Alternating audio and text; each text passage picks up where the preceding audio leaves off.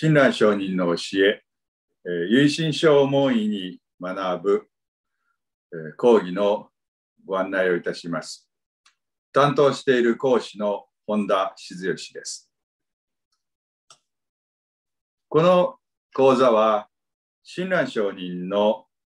え、お書物、え、親鸞様には漢文で書かれた協業新書などもありますが、一般の人たちに分かりやすく、え、和語、大和言葉で書かれたたくさんの浄土の教えの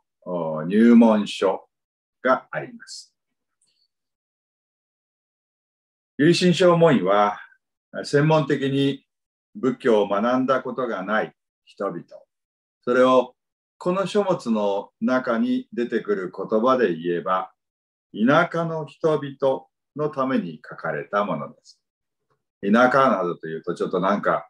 妙な感じがしますけれども、当時の京都、文化の中心地から離れて、専門的な勉強をしたことがない人々に向かって分かりやすく、えー、その教え、浄土真宗の他力の信心について、先輩の